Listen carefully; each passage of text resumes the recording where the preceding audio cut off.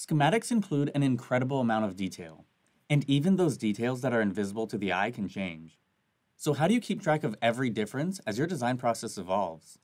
Comparing changes across your schematics manually not only takes a ton of time, it's also prone to mistakes and missed details.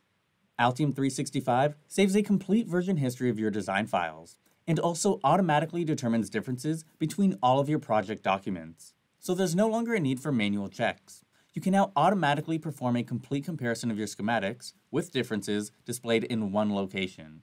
With this powerful comparison tool, you'll find every design change in the Differences panel, with components and nets listed separately.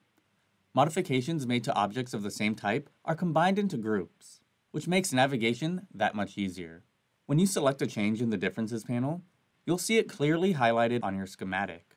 As you go through change after change, you'll see every detail and will be able to review your schematics quickly, simply, and efficiently.